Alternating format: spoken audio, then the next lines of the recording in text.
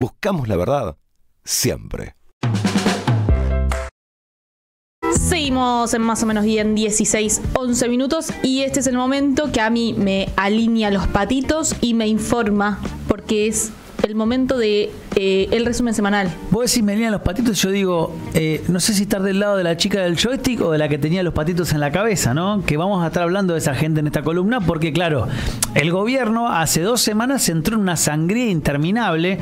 Desde que arrancaron las tensiones con la vicepresidenta Victoria Villarroel, no paró la sangría y desparrama para todos lados. Hace un rato me pasaron un Twitter de la pelea que tuvo Lemoyne con una de las legisladoras de La Libertad Avanza donde directamente se acusan de, bueno, una, diputada acusa a Lemoyne de grabar situaciones que comprometen a dirigentes de la Libertad Avanza para después extorsionarlos y dice esta legisladora que por esa razón ella tiene el lugar de privilegio hoy actualmente en la Libertad Avanza.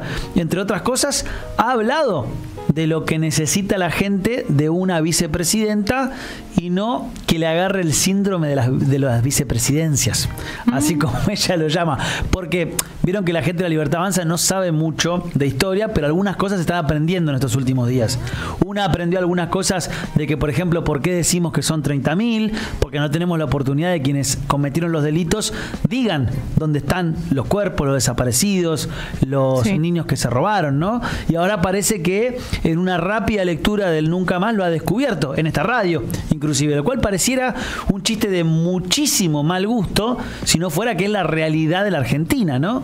Uno pensaba... Ahí hay que hacer mucha reflexión, ¿no? Sí, de, sí, de- sí. de culturalmente cómo estamos y educacionalmente también, ¿no? Porque es algo que deberíamos ver en la escuela. Y hoy hablábamos eh, temprano en el grupo, en un grupo de WhatsApp que compartimos de la agencia Paco Urondo, la la querida que- agencia Paco Urondo, de María Pía López, que me gustaría rescatar, que básicamente no lo vamos a leer porque es un poco extenso, pero ella decía, ¿se acuerdan cuando Horacio González, ni bien arrancó el gobierno de Alberto, dio un reportaje a la agencia Paco Urondo y perdón por la auto eh, permanente, el autobombo?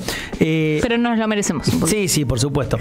¿Qué decía en esa entrevista? Bueno, muchas cosas, pero entre las muchas preguntas, porque era larga la entrevista y Horacio le gustaba profundizar, en un, en un momento que la verdad sinceramente no era tan relevante para la discusión que teníamos en ese momento, pero fue levantado, Horacio planteó la necesidad de hacer una relectura en clave positiva de la intervención revolucionaria de las organizaciones revolucionarias en la década de los 70. Uno dirá, che, pero ¿por qué dice esto Horacio en este momento en el que acabamos de volver? Bueno, eh, María Pía López, con, para mí, eh, muy buen tino, dice, miren, se enojó mucho el propio espacio político, no digo los de enfrente, porque los de enfrente es lógico, La Nación, Clarín, Horacio González reivindica la guerrilla. Ahora, había muchos que decían, che, no, no tenemos que ir por este lado, seamos más cautos. Ella que dice, mientras los nuestros pedían cautela y se ofendían barra enojaban por ese tipo de expresiones, se cocinaban por abajo las visitas permanentes de Victoria Villarroel, hoy vicepresidenta, genocidas, el armado de una opción ya no liberal clásica, sino ultra libertaria neorreaccionaria, sí, anarcocapitalista como la de Milei, que hoy gobierna la Argentina. Entonces, evidentemente, si hay una legisladora que forma parte de esa fuerza, que ahora parece haber descubierto la historia argentina y haberse dado cuenta de que nosotros decimos que son 30.000, justamente porque tenemos algunas aproximaciones por datos, por declaraciones, por los juicios, etcétera, pero que no es precisa exactamente por la razón básica y elemental de que quienes cometieron los delitos no dicen dónde están los cuerpos de los desaparecidos, dónde los niños que fueron secuestrados, etcétera. Miren qué extraño y qué loco todo, pero a la vez que atinada la intervención de Horacio González, porque dice, che, yo vengo a volver a discutir algo para volverlo a poner arriba de la mesa, porque no es que un consenso se gana en una democracia de una vez y para siempre. ¿Sí? Eh, a mí me llamó particularmente la atención porque me parecía algo, digo, si era construido en una novela medio distópica. Yo decía, es mucho. Además, em, el guion es medio berreta, ¿viste? Porque como en la, en la radio de las madres sale a decir que leyó nunca más y dice, che, esto habría que hacer una política de Estado para contarlo en las escuelas. Básicamente, básicamente la En política eso. de Estado de los eh, últimos 15 años hasta el 2015, ¿no? Digo, básicamente lo que hizo el kirchnerismo y lo que hizo el peronismo para tratar de revertir el relato, eh, digamos, anti-desaparecidos que hubo en la Argentina. Bueno, algo tan sencillo como, che, y si se ilustran y aprenden un poco, capaz que salen de esta suerte de pseudo adolescencia, niñata, y empiezan a entender que la realidad de la historia nacional es dramática.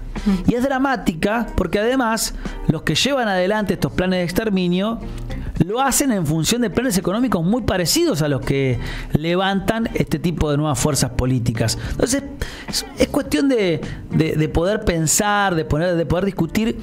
Y cuando uno ve que los personajes que hoy dominan la escena nacional son bastante poco ilustrados, uno a veces lo veía Macri y decía, che, este no se lee un libro ni por joda, te, te conjuga mal las oraciones. Ya acá pasamos a otro nivel, a otra etapa, ¿no? Eh, No sabe leer, decía. No, claro, ¿se acuerdan que dice, che, lee mal cuando lee un discurso? Bueno, por lo menos tiene un discurso. El Leo le decía, no sabe, no claro. sabe leer. Claro, entonces ahora uno dice, che, bueno, gente que se acusa de barbaridades de índole sexual por redes sociales siendo parte del mismo partido. Gente que eh, se violenta en términos físicos con gente de su propio partido. Gente que grita en los medios de comunicación masivos siendo presidente, por ejemplo, metáforas vinculadas a cuestiones sexuales. Me refiero a la foto que se conoció hace unos días que retuiteó Javier Milei de este diputado acusado de formar parte de una red de pedofilia, buscado y hace poco capturado, con eh, Tetaz, en la que dice la prueba de, que este diputado abusa de niños, ¿no? Y, lo, y Milei lo utiliza como un chiste, como, como Tetaz es una persona de contextura más bien pequeña, eh, la referencia o el chiste, entre comillas, es, miren, este es un niño y claro, como sabe más de economía, se lo abusó. Metáforas de carácter sexual.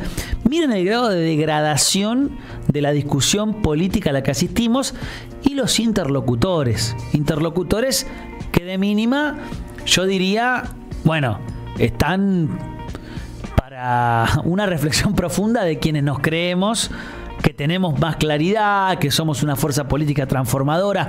Algo no vimos, ¿no? Después de esta intro, les propongo que escuchemos Una a, buena editorial se mandó. a Lila Lemoine. ¿sí? Escuchemos lo que dijo Lila Lemoine porque va a tener que ver con esto que estábamos hablando recién.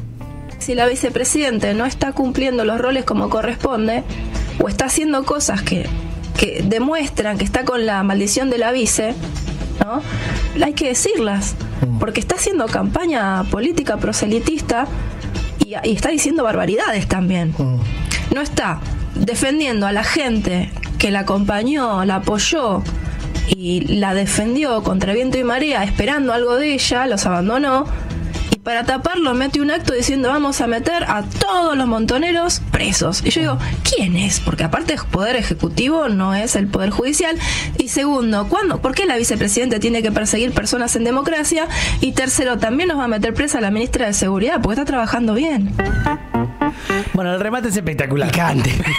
y estuvo bastante sensata en todo lo que dijo. Sí, sí, sí, no, estuvo bien, estuvo bien, pero digo, imagínense si lo dice alguien del peronismo, ¿no? Esto, pa- a figuras de su propio Vamos partido. todos presos. Sí, sí, sí. Por cosas mucho más leves, nosotros nos preocupamos por terribles internas que hay en el peronismo actualmente y, y no llegan las declaraciones a este nivel, ¿no? Pero lo que expresa también que ella se ha salido a hablar es también que hay un ruido muy grande en torno a Milei, Villarruel. Villarruel está generando ahí una cosa. Bueno, tuvo que salir a hablar Cristina de Villarruel. Claro, iba ahí. Está generando ruidos en todo el escenario político, no solo intrafuerza eh, libertaria, sino extra fuerza. Peronismo, es evidente, digamos, el chiste de Mayans en- no estaba, ¿no? Como audio, el chiste de Mayans haciéndole usted más peronista que Milei, no sé qué. Cristina rápidamente. Tenemos que profundizar la amistad, vicepresidenta. Cuando hay, hay un rumor, un run run, no sé si es un intento, pero un run run de la posibilidad de que avance un juicio político contra Milei en una alianza con Villarruel. Una cosa bastante compleja, no por nada. Cristina sale con ese tweet. Claro, ¿por qué? Porque mi lectura, ¿eh? mi lectura es, por un lado, la Libertad Avanza, claramente, la vamos a escuchar a Lilian Lemoyne, que sería la vocera número dos después de Adorni de la Libertad Avanza, hoy en medios. Decir, che, la vicepresidenta le agarró el síndrome de la, la maldición de la, vicepres- de la vicepresidencia, eh, lo cual sería básicamente ponerte en contra del presidente, que en Argentina pasó bastante. Y eh, por otro lado, nos encontramos con eh, gente que está planteando sistemáticamente de, parte del gobierno, che, esta mina nos va, nos va a cagar. Ahora, el peronismo que dice, che, ojo que si lo cagan a mi ley, se queda ella con todo. Tampoco nos conviene mucho que lo, entre comillas, que lo cague, ¿no? Entonces, que sale Cristina y dice, che, ojo que esta no es de los nuestros, ¿eh? Eh, lo, nuestro va por otro lado y es por acá, porque si gana esta, eh, a un problema. O sea, evidentemente todos, propios, extraños, están viendo la posibilidad de que, primero, el gobierno tenga una situación compleja en un mediano plazo y segundo, que el relevo de ese gobierno sea esta figura.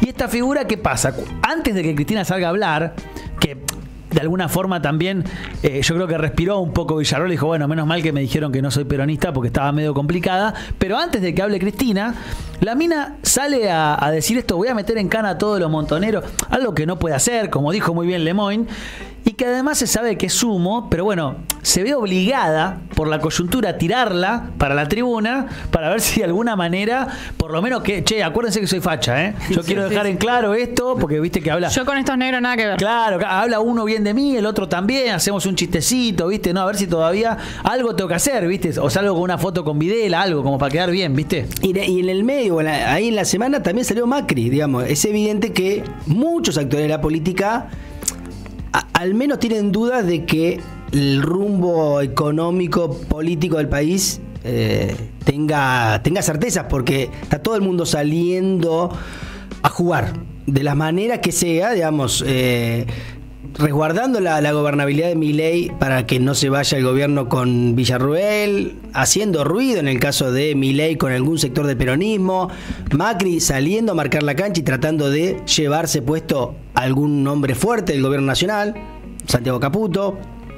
Hay mucho ruido. Que eh, recordemos, Santiago Caputo parece estar más enojado con todos los sectores del PRO con los que él se peleó que con los kirchneristas, ¿no? Porque está como, él te apuñala un libro de Marcos Peña y se preocupa más por eso que por la Cámpora, por Kicillof, por Cristina. Está en esa el chabón, ¿eh? Sí, y acá- Macri igual, ¿eh? Acá hay un mensaje de, de Fabián, que por eso lo voy a leer. Dice, perdón muchachos, buenas. No nos comamos los, los amagues.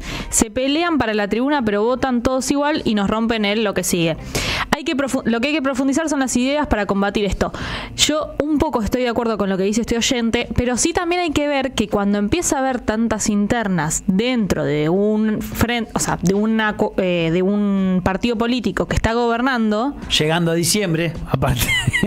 no solo llegando a diciembre, eh, de una situación económica, social, eh, política claramente que está empieza a desman- o sea, desmantelarse pero mal, digamos, bueno, cuando empiezan a haber esas internas hacia adentro de, un partido político que está gobernando, vuelvo a decirlo, es porque hay algo que no, o sea, que no está cerrando, digamos, no es que el mejor mensaje para afuera que uno puede dar, ¿no? no, y aparte también debe ser un costo para quienes, como decíamos de la, la semana pasada, en términos de eh, eh, personas que entraron en la política gracias a este, a este, digo gracias entre comillas, a este partido político y están gobernando por primera vez en, en algún en algún poder, digamos, el poder legislativo, el poder ejecutivo, empiezan a ver que hay alguna situación tanto económica como política, de la cual no están de acuerdo y empiezan a tener discusiones, digamos, porque está claro que no está pasando lo que supuestamente iba a pasar en términos solo económicos.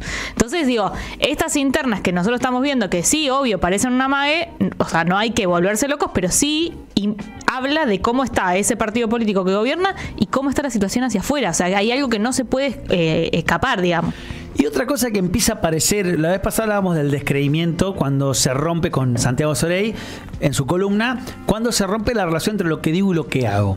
Apareció una entrevista de Hugo Alconada Mon, un periodista de La Nación, eh, muy seguido. eh, la Paco Urondo lo lee mucho para saber cómo piensa todo ese tipo de, de- de- de- Sí. de inteligencia, si se quiere, de derecha, eh, que le hizo Matías Martín en Urbana Play. Eh, muy interesante, porque de Vela él está empezando a investigar, como siempre, los periodistas liberales liberales que hacen. Te estudian corrupción, ese es su gran tema. Corrupción de todos. Si el gobierno es de derecha, bueno, quedan como que son medio de izquierda. Y si el gobierno es más de izquierda, quedan como que ellos siempre persiguen la verdad y son los periodistas liberales. Bueno, están investigando algunas de las cosas que dice Milei. Por ejemplo, el hecho de que Milei dice, yo siempre di conferencias. ¿Eso es verdad o no? Eh, están investigando si es verdad que nunca recibió un subsidio del Estado. Están investigando si se llevaba bien o mal con el padre. Y ha llegado a algunas conclusiones igual con Adamón. Escuchemos lo que le dijo a Matías Martín. Estás investigando el patrimonio personal de Milei. Sos el Sí. que puso en foco, che, este no dice que vive de las conferencias, pero nunca facturó ninguna, Correcto. etcétera. Dice que vive las conferencias, pero no las facturó. Dice que se peleaba con el padre, pero recibió herencia del padre y el padre a su vez cobraba subsidios de- durante el kirchnerismo al transporte. Familia que evadió patrimonio la puso en Estados Unidos. Y ahora lo último que revelamos es que Javier Milei emitió facturas truchas por 120 millones de pesos, obtuvo una moratoria y es, su vez ese dinero se terminó usando para la campaña presidencial de Daniel Scioli. Bueno, Buenos amigos. bomba lo que tira al final, ¿no? Un poco cuando Daniel Scioli termina pasándose la libertad avanza y se descubren estos datos, uno se pregunta, che, hace rato que venimos construyendo opciones políticas desde el peronismo que no tienen que ver con los principios, con las ideas, con los valores, con las formas, con las prácticas. Y nos hemos resignado a aceptar, de alguna manera, quienes llegaban. Che, bueno, ahora viene este, ahora viene el otro. Y la realidad es que termina siendo tan escandaloso que el derrotero de Scioli es, termina de funcionario de este tipo que es anarcocapitalista, libertario, eh, un gorila de pura cepa, manifiesto, que dijo que va a desterrar la justicia social de la Argentina. Entonces, ¿cómo, ¿con qué se come? Esa contradicción. Después le pedimos a la gente que crea en el peronismo, que sea sólida una opción. ¿Cómo vos podés, después de esta información, y aparte, digo, es la información soñada, el sueño húmedo de cualquier periodista liberal. Descubrirle todas las chanchadas a, a un peronista de estas características, ¿no? Decir, che, ¿vieron que todo lo que yo pienso, mis conceptos, mis preceptos, mis prejuicios, era verdad porque a fin de cuentas todo es lo mismo? Porque son cuatro amigos que se pasan guita entre ellos. Y en algún punto que salga en estos días y en La Nación da cuenta también de lo que venimos charlando. Hay mucho ruido de fondo de una economía que no va a ningún lado y hay mucho ruido de fondo en la política. Por eso aparecen cosas, uno podría decir, aparecen Cruzadas. muchas cosas de mi ley, La Nación, nada más y nada menos, medio que se señala con vínculos con Mauricio Macri y ninguna investigación sobre Villarroel, por ejemplo, que no, no, no tiene ningún subsidio estatal. No, no, ella no, no. Ella todo en blanco. la ONG eh, de ella nunca se vinculó con nada, digamos. No, el foco ahora está en mi ley.